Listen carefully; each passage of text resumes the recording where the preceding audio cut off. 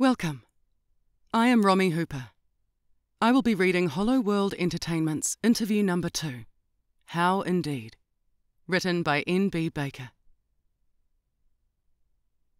Are you still confused to where you belong, Anodyne? Anodyne continued to float in silence through space, basking in the warmth of a nearby sun. Do you lay in the sun because the warmth comforts you? I lay in the sun because I like to be over hot. Makes me sleepy. Then why is Hollow so cold? Why make a planet with nearly no sunny days if you enjoy the warm sunshine? Hollow was not always so cold. When I first started, there were many warm days. But as I gathered more humans and their negative emotions filled me, I was fueled with more hatred than I could imagine. As my negative emotions grew, so did the negative attributes of Hollow. So you are nothing but an empty husk, a shell that allows others empty their personality into you.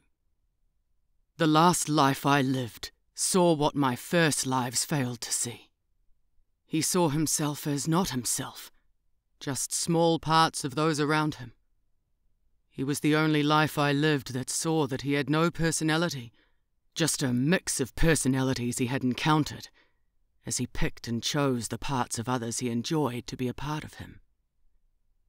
It amuses me how you lower life forms look back on what you used to be as if you've changed. Lower life form? I am a god. There are none higher than me. I used to be lowly human. Now I am eternal, a force to be reckoned with. You are nothing but a human with long life and some new tricks. You are far from eternal. You may not age, but you can still die. The universe is nothing but a small part of the multiverse, which is an atom compared to the true size of the eterniverse. Do you really think that you are the pinnacle of creation? That great power ends with you? You are merely in the testing stage. Anodyne sat, wide eyed. Into the black, a tsunami of thoughts rushed through his mind as nervous laughter escaped his lips. So, I am just some insignificant little bug, incapable of seeing the bigger picture? I have visited the multiverse. My first humans came from another universe. I do not remember seeing any Eterniverse looming overhead. An eerie laugh filled Anodyne's ears as his head spun, trying to find the source.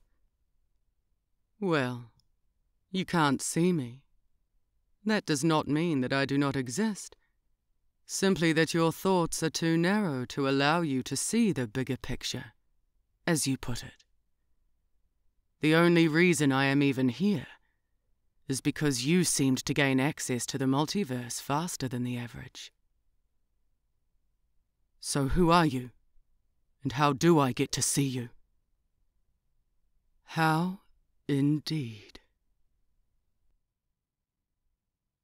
If you liked this, there will be another one uploaded next week. And if you don't want to wait for the audio version, you can read Hollow World Entertainment's full collection on www.enterthehollow.com. Links in the description below.